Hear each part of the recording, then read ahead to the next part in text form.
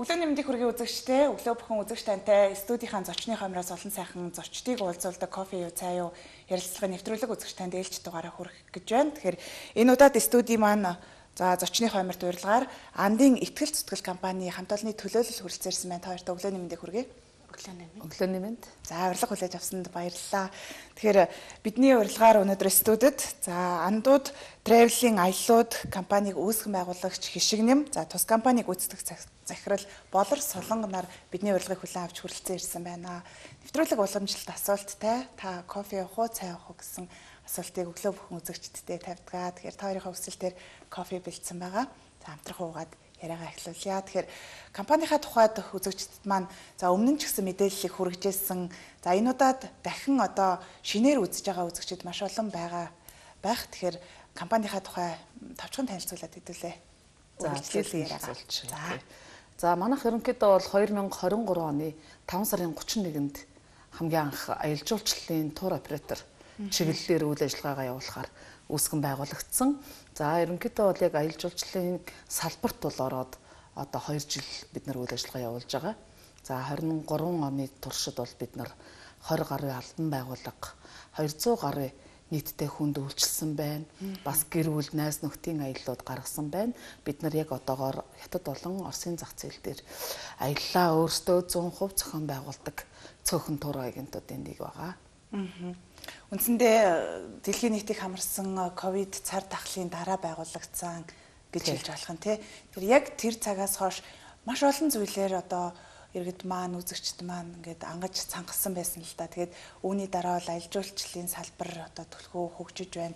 За энэ салбарт хүч төрөн орж иж байгаа танай компани хамт олондоос амжилтыг хүсье. Тэгээд саяхан бас э, мэдээллээр сурагчдын амралтаар хүүхдийн аялал гарах гэж байгаа гэсэн мэдээллийг хүргэж байсан. Тэгэхээр яг хүүхдийн аялал нь хэр амжилттай болж өндөрлөв.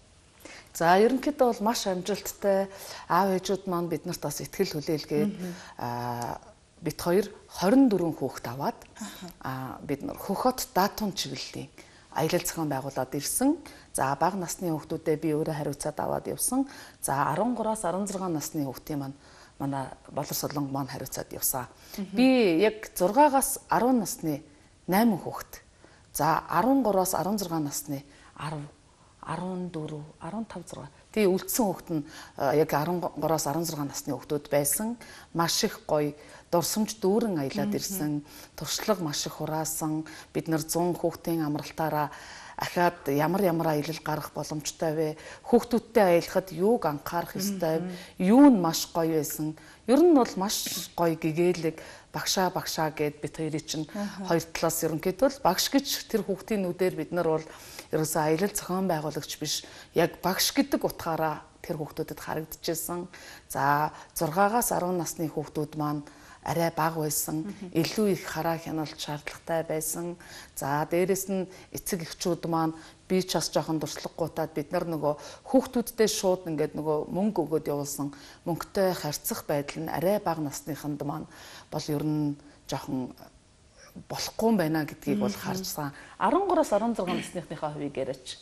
Оо манай тэр яг миний ингээ хариуцсан хүүхдүүд айгүй өрх намайг ихлээл багшаа багшаа гэл Тэг ихэндээ мэдэхгүй бүр цуг аялах чаа хөхөд тэр ингээд намайг юм навхан жоохон бол. Бүгд өндөр. Тэгэл найзууд юм шиг л яваад ирсэн бүгд тэр надаас бүр салдаггүй.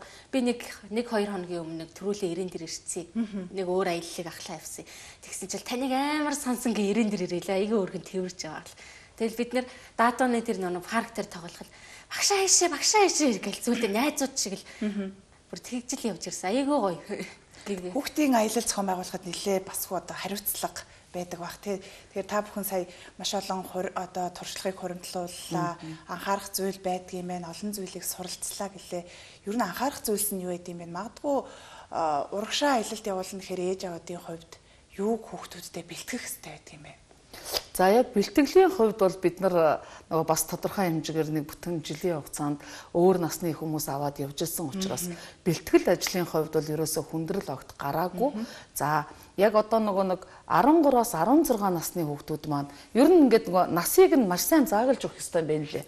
А бас нөгөө нэг ингээд зарим тохиолдолд гэр бүлийн одоо эгч дүүс ч юм уу ингээд хоёр хоёроороо явж байгаа тэр хүүхдүүдийн тэгээ бид нар нөгөө нэг аялал дуусахад хүүхдүүдээсээ яг нөгөө нэг өөрсдөөс нь санаа бодлыг бас авсан. Ягаад гэхээр эн чинь тэр хүмүүст зориулсан аялал учраас бид нар эргэцэн зохион байгуулахдаа юун дээр нь анхаарах вэ гэд. За хүүхдүүдийн маань хувьд бол нөгөө Монгол хүүхдүүд учраас хэд Датун хот маань өөрөө хэтийн хойд хот идэх одоо яг нөгөө нэг хоолн дээрээ бас жоох анхаармаар санагдсан. Багшаа мах амир их сансан гэж ирж ийн лээ. За яг хөө тэгээд нөгөө нэг буфет хоолнуудын хувьд бол хүүхдүүдэд асуудалгүй байсан. За дээрэс нь нөгөө нэг даатунд одоо байгаа нөгөө нэг Диснейленд байгаа байхгүй юу? Диснейлендийнхэн тоглоомууд дээр бид нар бас нөгөө цаанаасаа болохоор метр 20-оос дээш зөвшөөрдөг. За тэгээд нөгөө бүр их айхтар одоо галзуу болгон шиг тоглоомууд нь метр 50 гээд зөвхөн өндөр заачдаг. А тэгэхэд бид нар бас нөгөө бага насныхандаа тоглоулахааргүй тоглоомууд бас өндөр нь хүрж байгаа мөртлөө бас байна лээ. Тэр нь тэрийг маш сайн мэдэж авсан. Ер нь бага насны хүүхдүүдтэй тэр парк гэхээсээ илүү тэнд 3D, 5D үзрүүд нь маш гоё байсан одоо дандаа танин мэдхийн одоо сансар окторгүй хятадын түүхийг үзчихэд харин манай жоохнууд жоох ууртаа гарч ирсэн. Манай монголчуудыг ялагдуулсан байна гэдэг утгаараа хүүхэд учраас тэрийг нөгөө яг ингээд шууд тусгаж авчихсан. 13-аас 16 насныхны маань хувьд бол ер нь баг хүндрэл бол огт гараагүй. Хүүхдүүд маань өөрсдөө маш мундаг болцсон. Тэгээд илүү эмх цэгцтэй, илүү зохион байгуулалтаа явж чадсан. Тэгээд хүүхдүүдээс маань бас маш гой гой санаанууд гарч ирсэн. Бид нар ерөнхийдөө 6 сарын сүүлээс эхлээд одоо энгийн аялал гэхээсээ илүү скаут маягийн өвөр Монголд очиод хүүхдүүдээ тентхийн хүүхдүүдтэй танилцуулах 13-аас 16 насныхан маань маш сайн найз нөхөд болсон тий. Багууд нь бас ингээл хаяада нэг зөрчилдөө хүмүүсэл яваад байгаа юм. Тэд нар ч бас нөгөө нэг нэгээс айлын дандаа нэг хоёр хүүхэд тий эсвэл айлын багууд явж байгаа учраас 13-аас 16 насны октод хүүгүүд маань огт танихгүй очоод хоёр дахь өдрөөсөө эхлээд л тэр хүүхдүүд маань бүр маш сайн найз нөхөд болоод хамгийн сүүлийн өдөр бол одоо богоон төртөл битэрий чинь яахгүй багшаа бүгдээрээ гоё юм ярьж явъя. Яг нөгөө тэр насны хүүхдүүд маань ингээд гоё эвлэлтэн нэгдэхдээ их мундаг юм байл. Ёстой гоё яваад ирсэн. Амралтын өдрүүдээ одоо ая тухтай амраад дурсамж бүтээгээд ирсэн байна. Хамгийн гол нь хид хідэн гэр бүлүүдийг сонсч ирсэн л да. Хуваараа өөрсдөө даатун хотыг зориод усан парк үзээд ч гэдэм хүүхдүүдтэй үзүүлэхээр явсан. Яг одоо бие дагаад гэр бүлэрээ явхаасаа илүү туур операторын компанид одоо ингээ хандаад явах нь илүү одоо маш олон зүйлээ багтаагаад үзээд ирэх боломж байд юм байна гэдгийг би бас сонсч ирсэн л да. Тэгээд тийм учраас яг нөгөө нэг цаг хуваартай, маршруттай ингээд яг хуваарийн дагуу явбал бүх зүйлээ одоо цаг хугацаанд багтаад үзээд ирэх юм байна гэдгийг бас ойлгож авч байна. Сая бас яг нөгөө нэг ингээ хажуугаар нь яг хүүхдийнхаа аяллаа хажуугаар нэг хоёр гэрвэл давхар аваад явсан. Бас нэг байгууллага бас аваад явсан. Ер нь бол яг би бас түрүүчийн удаад ч гэсэн хүмүүст хэлжсэн. Аа тур оператороор явхад нэгт үнэн нь хямд тусдаг. Хоёрт юунд ч санаа зовхгүй явдаг. Та өнөөдөр өдөр одоо одоо гэр бүлээр явж ивэл одоо хэдүүлээ өдөр юу идэх вүлээ?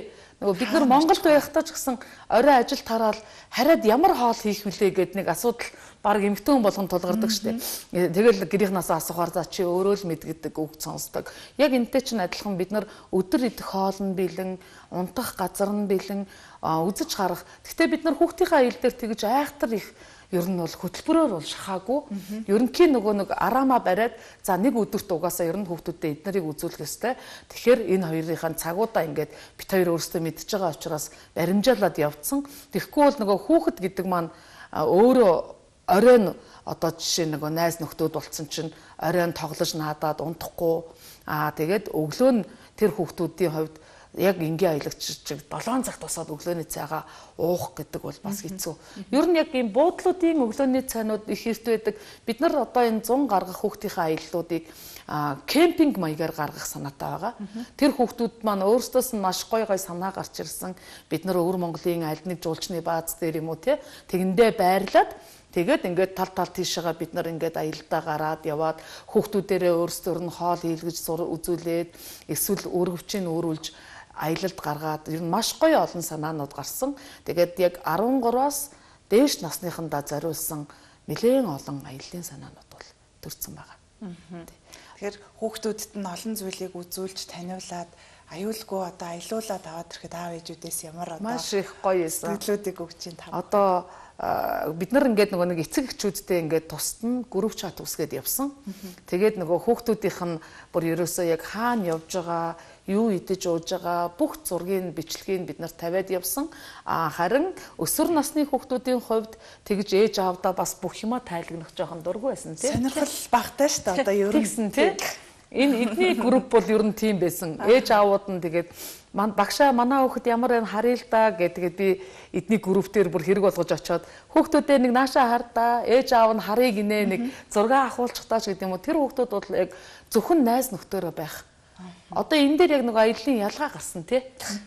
Танай группийн хувьд ч гэсэн нэлээд гарсан баха тий эхлээл нууцаар зураг дарсаж багшаа та яг ээжэд явуулах гэдэг юм гэл. Ер нь бол яг тийм хүн эцэг хэсэж жоохон холцсонтой баярлсан баг гэж бодож байгаа. Яг нөгөө нэг үеийн хүүхдүүд тэгээ яг нөгөө нэг санаандгүй бид нар нэг гуйлтаар нь 2 3 гэрүүл аваад явсан.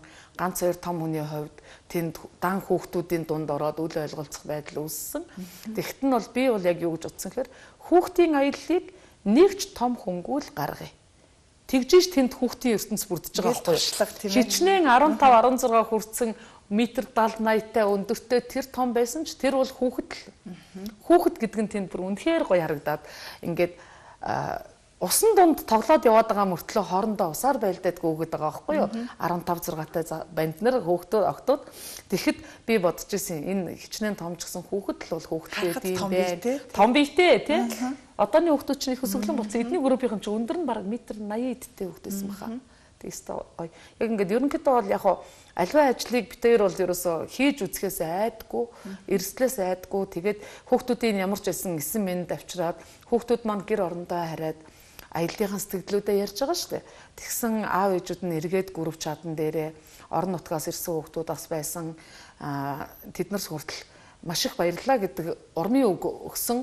Тэр нь бол над битээрт бол бас эргээд энэ ажлаа хийх эрч хүч урам зориг дэмэж байгаа тий. Яг уу заавал нөгөө бид нар нэг хүмүүсийн гаргадаг л аял гаргадаг л зүйл хийхтэй гол нь биш.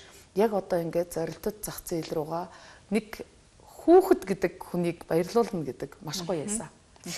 Сток гоё. За ингээд хүүхдийн аяллаа саяхан зарлаж байсан бол амжилттай дуусгаад дүүргээд за маш олон ээж аавуудын сэтгэлийг нь тийм ээ амраагаад хүүхдүүдийг бас баярлуулад иржээ. Дараагийн аяллаа бас бид өнөөдөр мэдээлэхээр хоёр зочныгоо урьсан байгаа.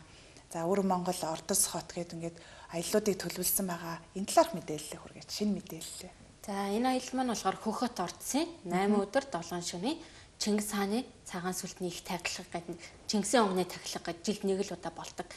Манайх болохоор Улаанбаатараас эхэлтэй 4 сарын 26-наас энэ аяллаа зарлж байгаа. А энэ маань манай одоо монголчууд яг үнийг хэлэхэд энэ хятадууд энийг манай хамаг юмэг авлаа гэж уурладаг. Яг энэ зөрүүтэй ойлголтууд байгаа. Зөрүүтэй маш олон. Энэ яагаад ингэдэг гэхээр одоо Чингисийн онгоныг хамгаалдаг дарахад үндэстэн гэж байт юм байна. Тэд нэр болохоор энэ онгон гэдэг үг чинь бурхан биш. Нөө бунхан гэдэг үг нэг ашиглагдаж шүү дээ. А нөгөө утгаар нь ариун дагшин гэж бас нэг агуулгатай байна энэ үг нь. Тэр утгаар нь ингэж ариун дагшин газар шүү гэд онгон гэж нэрлэлтэй байлаа. Энэ яагаад одоо Ордогийн эзэн хошуу гэдэг газар энэ модон Орцоос 65 км-ийн зайтай байдаг. 1227 за багчлаа. 1200 1200 бол Чингис хаан нөгөө нэг тангууттай байлдаад буцаж явахдаа одоо нөгөө яг анх ингээд явахдаа энэ тэр эзэн хорооны яг тэр хэсэг газар жоохон үйл ялэг зогсолт хийгээд ямар сайхан нутаг вэ гэд явсан юм байлээ. Тэгээд нөгөө нэг э, Чингис хаан маань нас нөхчөөд буцаж явж байхад яг тэр эзэн хорооны тэнд ирээд хөсөг тэргэн зогсоод явахгүй болсон гинэ. Тэгэхээр н одоо нөгөө нэг жанжтууд нь тэгж ярьсан гэсэн. Нөгөө эндээс ингээд их хаан маань явахдаа энэ газар ингээ хорогдсон учраас эргээд ирэхдээ одоо сүмс нь хорогдлоо гэж үзээд тэнд нэг цагаан хөлдөгийг нь тий цагаан цамц өрөөсөн амс өргөө цагаан гэрийг нь онголж үлдээсэн. Тий түүхэн тийм байхгүй юу.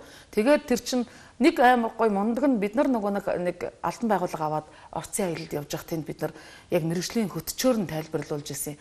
Тэгэхэд тэгж ярьж байсан. Одоо бид нар энэ Чингисийн онгонд ажиллаж байгаа энэ ажилчид маань ер нь бол үе удам дамжаад ирсэн дарахт үндэстэнгүүд байдаг. Бид нар энэ 700 жил энэ Чингисийн онгоны одоо зулыг нэг ч удаа бид нар нөгөө тасалж үзээгүй түүхтэй гэж ярьж байсан байхгүй. Тэгээ ерөнхийдөө нэг тэр удаа очиод би лав тэнд маш гоё ингээд нөгөө огшоод урд нь бол нэлээд хэд удаагийн аялал гарсан ч гэсэн яг тэгж нөгөө мэрэгжлийнх нь хүнээр тайлбарлуулж үзээгүй. Тэр удаа бид нар ер нь яг нэг илүү хэдэн төгрөг зарахта хүмүүстэй гоё мэдээлэл хүргээгээд тэрийг ингээ тайлбарлуулсан чинь бид нар өөрсдөө бүр тэрүүгээрээ түүхээ мэддэг болоод бахархсан. Тэгээ ерөнхийдөө бол жилд дөрвөн удаа том тахилга болд юм байна лээ. Хаврын их тахилга тэр нь болохоор нөгөө бэлгийн тооллоороо явдаг учраас ингээд жил болгон нэг 4 сар 5 сар хоёрт зөрдөг. Аа тэгээд хавар намар зун өвөл гээд жилийн дөрөв үйлрэлд нэг нэг их тахилга. Энэ удаагийнх нь болохоор одоо тэр нөгөө онголсон цагаан хүлгийг нь гэсэн үг байхгүй юу? Одоо тэнд нэг байдаг те нэг 10 гаруй цагаан одоо нэг азар гадуу ер нь бол байдаг байхгүй юу онгологдсон. Тэгэхээр ер нь бол одоо яг тэр цагаан одоо адууг нээл дахлах гэж ойлгоход ер нь бол зүгээр энгийн ухаанаар бодоход болно. А 4 сарын 25-наас 5 сарын 2-ны хооронд тэнд ерөөсөө яг 7 хоног одоо бүх хиттаас одоо нөгөө нэг манахаар наадам өвөр Монголын бүх болно. А хамгийн гол тахилга нь 4 сарын 29-ны өдөр бүтэн явах учраас бид нар аялын хоногоо 26-нд Улаанбаатараас гараад. Гэхдээ энэ аялал маань соко тий нөгөө зөвхөн тахилгаа үзэсгээсээ гадна бид нар сайхан байгалийн халуун аршин усан парк ордост маань байгаа Ванжаах уу гэд тэндээ сайхан амарчин за ямар ч насны хүмүүс явсан буцаад ордос хушууны энгэн тал гэдэг газар байрладаг экстрем аяллахын төвөр бас манай элсэн тасархаа шиг тийм маш гоё экстрем аяллаа төв байдаг. Тэрүүгээрээ зочилчин хөх хоттой бид нар танин мэдхийн үзэр үйлчлэгээ үзчин. Ерөнхийдөө хөтөлбөр бол маш гоё баялаг. Тэгээд та хэд маань нэг юмнаас бити айгаарай. Настай хүмүүс явуул ядрах болоо зүдрэх болов гэж бүү айгаарай. Бид нар айл болох ерөөсөө аялагчдынхаа тав тухыг хангах үднээс бид нар хөх хот хүртлээ ядахнаа хүмүүсээ унтлахын галт тэргээр те цаг нарын тохируулаад их олон цагаар бид нар хүмүүсээ атуусаар авч явж чилээхгүй хичээдэг байгууллага байгаа шүү. За мэдээж яг энэ талаарх дэлгэрэнгүй мэдээллийг бидний одоо ярилцлагын доор гарч байгаа. За андууд traveling аялууд компани одоо пэйж хуудаснаас ороод бас дэлгэрэнгүй мэдээллийг авах боломжтой. Тийш орсон маш олон мэдээллүүд байлаа. Тэгээд аль жуулчлалын компаниуд нөгөө ингээ мэдээллийг бол маш дэлгэрэнгүй өгдөг хөтөлбөрөөр гаргаад хэдийнэ тавьчихсан байршуулцдаг учраас бидэнд одоо аялахад үнэхээр одоо нөгөө айдас ч юм уу юу бэлтэх үү яах уу их үү гэсэн одоо нөгөө санаа зовних зүйл харьцангуй бага байдаг. Тэгээд ер нь бол маш олон аяллаа компаниуд, тур операторууд байна л да. Тэдгээрээс ер нь юугаараа ялгархыг хүсдэг вэ мэдээж хэрэг одоо шинэ компани тухайд. Зүгээр л манай компани ер нь бол сэтгэл. Одоо ингээд би тэр аялагчийн оронд манайх би байсан бол яах вэ? Ингээл хөтөлбөрийн дагуу явж болно л та. Яг тэр тэр тэр гихгүй аль болох хамраахгүй ингээд одоо бид нэр дэлгүүр эсмээр байна эсвэл бид нэр тийм юм мэдмээр байна гэвэл яг тэрэндээ зориулаад харахаар давуу тал. Нэг юм чанга хатуу хөтөлбөр өөрсдөө нөгөө нэг яг хоо би бас яг ер нь бол дандаа л хэлдэг юм. Бид нар болохоор өөрсдөө чадлынхаа хэрээр аяллаа өөрсдөө зохион байгуулдаг тур оператор. Бид нар нэг ч өвөр Монгол болон нэг ч хятад компанид хүнээ шилжүүлдэггүйгээр онцлогтой. За яг хуу зарим тохиолдолд учир дутагдaltaй зүйл байдаг байж болно. А бид нар нэг айхтар нөгөө нэг хятад хэлтэй мэрэгжлийн хүмүүс дагуулж явах нь бас ховор бид нар яг уртлаасаа бол манай хамтрагч маань ирээд яг шаардлагатай тохиолдолд гайда бол хийгээд өгдөг. Бид нар хамгийн гол үйлчлэгээ аялын ахлах гэдэг хүмүүс маань тухайн хүнийхээ тав тухтай байх боломж болцоог нь хангаж өгдөг. Тэр хүн хятад хэлгүй байсан ч бид нар тэр хүмүүсийнхаа юу хүсэж байгаа, юу санаж байгааг нь бид нар дор дорн зохион байгуулах чадвартай байдгаараа л онцлог гэж боддог. Яг гоо зарим тохиолдолд ингээл гадагшаа дотгошоо их явцсан одоо том том орнуудаар явцсан том компаниар үйлчлүүлээд сурцсан хүмүүс яваад шүүмжлэх юм бол гардаг л ах л да. Гэхдээ миний хувьд бол би зүгээр л сэтгэл ханамжаал борлуулдаг. Яагаад гэвэл бидний гол зорилго тэр. Та өнөөдөр бид нар та нарт 100% бүр маш өндөр түвшний HSK 5 HSK 6-гийн төвшний хятад хэлтэй хүнээр үйлчлүүлж чадахгүй байсан ч бид бол танд өнөөдөр өвөр монголч байсан хятадд ч явсан таны аюулгүй байдлыг 100% хангана таны амрах одоо явах орчны чинь тодорхой хэмжээгээр 100% бүрдүүлж чадна л гэдгийг амлаж чадна. Ер нь л хуваараа явах аялын компанид хамрагдаж аялалд явах хоёрын давуу талуудаас та түрүүн хальт дурдсан магадгүй санхүү мөнгөний хувьд харьцангуй гайг байдаг гэж бусад тавуу талуудыг нь хэлж өгөөч. Яг одоо ингээл бид нар чинь өөрсдөө нөгөө нэг бас анх мэддгүүл байсан шал тэг хөндлөнгийн өөр салбараас орсон хүмүүс. Тэгэхэд бол хүмүүс боддог штеп. За хуваараа явал хямд. Тий. Тэ одоо ингээд илүүтэй тэгж ярьдаг тий. Тий яг хоо яг тийм хүмүүстэй зөндөө таарад зөндөө туслаад заримыг нь бүр ингээд багтаа оруулаад тий За яг хуу та нар манай эдлийн үнийг төлөхгүй ч гэсэн очоод ингээд өөрсдөө үзээрээ хараарай.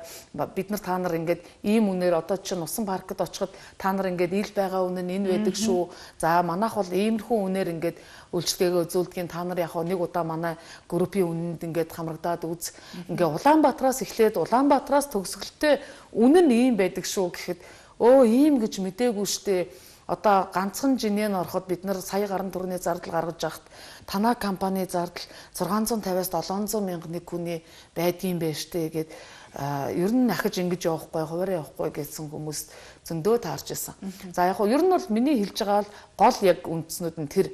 За нэгт та бүхэн маань зардлаа тооцоод үзээрэй. Ганцаараа явахаасаа. Хоёрт үнэхээр одоо өөрөө зохицуулж чаднаа гэж бодож ивэл явахыг үгүйсэх арга байхгүй. Тэгтээ хаана хооллох уу, хаана буудлах уу, байнгын ингэж нөгөө бид нар амрах гэж явж байгаа болохоос биш манайхан шиг ажиллаа хийх гэж яваагүй учраас та бүхэн маань ямар ч стрессгүй, ямар ч бодох юмгүй энэ хүнээс би мөнгө төлцсөн учраас үйлчлэгээ авах хэрэгтэй. За одоо өнөөдөр манай хөтөлбөр яах вүлээ? Юуг нь яах вүлээ гэд аяллахаа ахлахтаа зөвлөлдөөд явж гин гэдэг таны хувьд жинхэнэ утгаараа амралт болно л гэж бодож байна. Ер нь тэр. Тэгээд хүүхдүүдэд дагуулад гэр бүлэрээ явж байгаа хүмүүс маш их таардаг л да. Нэгт ингээд би уг нь бол зөндөө удаа хэлдэг. Хүүхдэд дагуулад усан паркт тоглосон ч гэсэн та нар уг нь бол аялын компаниар явж ивэл зууралдах хэрэг үнэхээр байхгүй. Тэр чинь бас нэг тодорхой хэмжээгээр хариуцаад хүн явж байгаа учраас за одоо энэ манай хүүхдүүдийг нэг ядаж нэг ингээд нэг төр ингээд ягаад өгөөч бид нар ингээ хоёулахнаа нэг сайхан нэгхэн цаг хоёрхан цаг амрыг гэж болно шүү дээ. Тэгэх юм бол бид нар ерөөсө цааргалдаггүй хамаагүй тэр аяллаар явж байгаа хүүхдүүдээ угаасаа бүгдийг богнуулаад харгалзаал өгдөг. Ягаад тэгэхээр аав ээж нь ч гэсэн амрах хэрэгтэй шүү дээ. Тэг манайхан даанч өөрсдөө тэрийг жоохон ойлгодгүй юм шиг санагдав. Гэх мэтчлээ олон даваа талууд олон даваа талтай. Монголд ч гэсэн аялахдаа та бүхэн маань заавал нэг нь машин бариад нэг нь хоол хийгээд тэгж тэгэл майхан сав бариад бас маш их ачаа ачиж явдаг штеп бид нар. Яг хай тухтай байдаг боловч заримдаа бас цутрал. Хэцүү байдаг. Өөрөө нөгөө үдцэн мэддэг учраас бид нар ингээд яг хоёр удаа гэр бүлэрээ явхад нэг удаад нь Баруун аймгийн аялалд явхад яг 100% өөртөө явж үдсэн. 10 хоноод ирэхэд бүр 2 хоног сэрч чадахгүй болтлоо. Амар ядарсан. Модлон бид нар тий Сэлэнгийн аймгийн аялал руу яваад үзэхэд бид нар кемп дээр байрлаад яг өөртөө явсан л да. Гэхдээ бас харьцангуй гайгүй байлээ. Одоо энэ жил бид нар дотоодын аяллаа гэр бүлэрээ зохиохдоо зүгээр л мэрэгжлийн жолоочийг мэрэгжлийн атуустаа аваад өөртөө бүр юунд ч зоохгүй явсан хамгийн зөв. Тэгэл дөрөв машин явна. 3 4 машин явна. Тэр машины бензин тос Тэгээд л дээрэс нь нөгөө дээрэс нь эвдрэл байна тий. Тэгэл э, өөрөөсөө тэгэл машин барьж байгаа хүн маань ядарна. Тэгж яхаар адилхан л нэг одоо нэг бид нар нэг ам бүлүүлээ нэг 20 орчим хүнтэй байлаа гэхэд нэг каунти хөслөд явхад бараг кемп тусч байгаа байхгүй юу? Хоногийнх нь хөөс түлш хоёроо нэмээд өгөхөд. Тэгэхээр бид нар тэгж аялж сурвал ер нь бол маш гоё. Зөв гэж бодож. Магадгүй заримдаа хэмнэх гэж байгаад илүү төлөх тохиолдлууд маш их байгаад байна. Зөндөө. Аялалд За одоо ингээл дулааны уйлрал эхэллээ, аялал зугаалга, амралт, жуулчлал гээл олон зүйл дэлгэрэх, дэлгэр цаг ирж байна л та. Тэгэхээр одоо нөгөө э, танаахаар одоо магадгүй хандаад ийшээ тийшээгээ аялах, энэ тэнд очиод бас ажиллаа бүтээх ингээд олон хүсэлтүүдийг тавьдаг байх. Та түрүүн хэлэхдээ манайх улаан өдрөө бас аялуулдаг гэсэн улаан үдийн аяллаа тухайд. Орос руу бас ерөнхийдөө бол аяллууд гаргадаг. Улаан үд болон эрхүүрөө. Тэг яг нөгөө нэг одоо яг нөгөө нэг нийгмийн улс төрийн байдлаас болоод Орос руу одоо жишээ нь бид хоёр чинь сая шинэ жилээр Ленинградын аялал, Москвагийн аялал зарлаж удсан. Тэгэхэд ерөнхийдөө бол нөгөө Орос руу явахаар визний асуудал тий. Тэгээд яг хөө Бурэдийн аяллууд бол ерөнхийдөө гарна. Улаан өдрөө бол манайх ерөнхийдөө 45 хүний дандаа том хатуусаар аялал гаргана. А манжуур руу бас бид нар Одоо гэхдээ энэ жил бол бас нэлээд их шинэлэг юмнууд бодож л байна. 5 сартаас битээ одоо жишээ нь ингэж байгаа байхгүй юу? Би ингээл Гонжуугийн Кантон ферийн аяллыг яг аялын шугамаараа зарлахаар яг үнэндээ ингээд бизнесээ эхлэх гэж байгаа хүмүүст маань жоохон өндөр тусаад байгааг нь олоод харцсан. Тийм учраас би одоо 15-наас эхлээд 10 хоногоор нь аваад явъя бизнес хөтчийнхаа үйлчлэгийг үзүүлье. Чаддаг ажлаараа бид нар бие биендээ бас туслая. Одоо тусласныхаа хэрээр би тодорхой хэмжээнийхээ маш бага үйлчлэгээний хөлсөө авъя. А ийм юугаар зар гаргасан чинь манайхан маш их дуртай орж ирж байгаа. Би одоо 10 гаруй хүнд туслах гад 10 хоног бүтэн гонжууд байрлаад ирэхэд бид нар нэг үсрээд нэг э, манай энгийн аяллууд чинь ер нь гонжо 5 хоног нэг нэг үеэрээ явхад 3 сая орчим төгрөгийн үнэтэй байхгүй юу.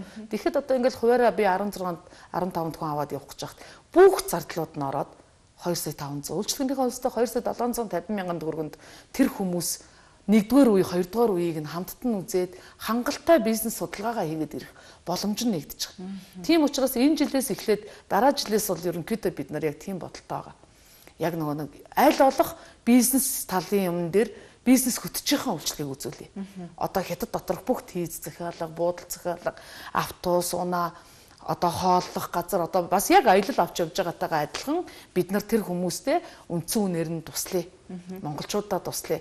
За тэгээд эргээд бид тэднэрт үйлчлэгээ үзүүлж байгаагийнхаа хөлсөнд нэг хүний энэ удаагийнх дээр би нэг хүний 250 мянга авч байгаа. Яг энээс нэг илүү гарахгүйгээр аваад хүмүүсээ авч яваад чадлынхаа яриаар туслаад тий ингээд явбал багс их зүү юм байна. А энгийн аялал бол яг уу манайхан чинь төлөвлөөд төсвлөөд явдаг. За бизнес аяллаа хэмжээнд бол энэ хүмүүс маань жилд нэг хоёр удаа болдог үйл ажиллагаан дээр очиод үзчмээр байдаг. Ямар ч бизнесгүй хүн ч гэсэндээ нэг яаж иж байгаад нэг очиод үзүүл тэндээс чин санаа төрөхгүй юм бах та. Залуучууд маш их хандж байна, орж ирж байна, ямар ч мундаг болсон юм. Дандаа 90 оноос одоо 2000 оны хүүхдүүд орж ирж байна аваад яваач анх удаага явах гэж байгаа. Ер нь зарим нь баг хятад руу ч гэсэн анх удаага явж байгаа хүн байна. Тэгтэн дагуулад явъя чадлынхаа хараар туслая гэж бодож байгаа. Ингээл нөгөө нэг ажиллах тусам ингээд бидний ажиллах арга барил маань өөрчлөгдөөд за хаана нь аль газар нь бид нар хүмүүсийнхаа эрх ашигыг тааруулаад явж болох уу? Аль нь дээр найхтрын ашиг харахгүй ч гэсэн бид нар ч гэсэн тэндээс аж аргалыг мэдрээд ингээд хүүхдийн аялал дээр ч гэсэн тэр бол тийм айхтар өндөр ашиг бол байхгүй. Тэгтээ хүүхэд гэдэг тэр гэгэн те би тэгээд хүмүүст хэлээд байгаа 6-аас дээш насны хүүхдээ л аялуулаарай. Дурсамжаа самдаг, дурсамжаа мэддэг. Үзэж хараад тэр хүүхдүүд одоо би нэг 8 настай, 10 настай нэг жохон хүүхдээсэн ямар мундаг юм бэ. Тэгэхэд байгалийн түүхийн музей үзээд хоёр танхим маань тэр чигээрээ чулуунууд байгаа байхгүй юу. Тэгэхээр тэр хүүхэд тэндээс юмыг ээж мэдхүү ирээдүйн ажлынхаа тэр хүүхэд чулуунд маш дуртай хүүхэд байгаа байхгүй. Тэгэхэд тэр хүүхэд алс алс ирээдүйн хаан өөрийнхөө ажил мэргэжил сонирхлоо болоод авцсан байхыг өгөөсгөх арга байхгүй. 10 10 дугаар анги лөө танаад чинь 9 дугаар ангийнхаа хүүхдүүд маань хятад руу явах замд нь бид нар бас маш гоё зөвлөгөө өгч байгаа. Тэр хүүхдүүд маань энэ хятад улсын энэ нөгөө нэг гоё шинжлэх ухаан технологиг нь судлахын хэрээр Монголд биш бид нар гадаадд сурвал яах вэ? Боломж болцоо нь юу байдгийм бэ? Судалж үзье гэж ярьж ирж байна. Энэ болгон маань эргээд бид нарын бас нэг нийгмийн өмнө хүлээсэн хариуцлаганда тодорхой хэмжээгээр хүмүүстэй тусдсан болж байгаа. Чадлынхаа ирээр гэж бодож байгаа. Мэдхэд тийм шүү дээ. Мянга ярихаар нэг үзэгдэх шүү дээ хаашаа чамаагүй нэг яваад ядаж нэг ирээ орох юмсан гэсэн маш олон хүмүүс яг хоорондоо ярьдаг мадрах төдий болгоод өнгөрдөг л дөө. Гэсэн хэдий ч хинт хаана хандхаа мэддэггүй. Тэгэхээр бас танай компанид хандхыг бас үзэгч хүмүүндээ уриалмаар байна. Тий, хаашаа ч хамаагүй. Яваад үзмээр байна. Яг хоо бид нар дагаад 100% дагаад явж чадахгүй ч болно тий. Тэгэх юм бол бид нар эндээс нь ядаж бүх юмыг зохицуулаад өнгөрсөн намар нэг баг 10 залуучуудад тэгж тусалсан. Би өөрөө гонжооч орж үзээгүй. Одоо л зөвлөгөө аваад. Тий.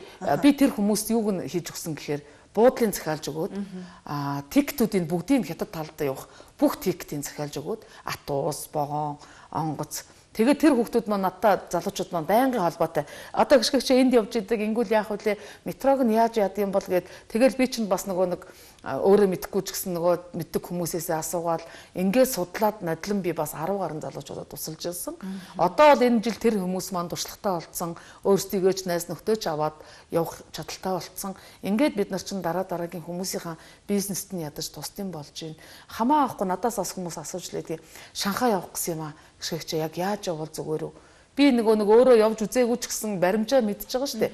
За яддаг ч байсан газар нислэг хослуулчихаа хөх хотоос нисвэл хамгийн хямдхан байдаг шүү. Бээжин орохоор та зандаа жоохон ядрах баха. нөгөө 90-ээс Бээжин чи унтлагын хатуусаар нэлээд олон баг 10 хэдэн цаг явна штэ.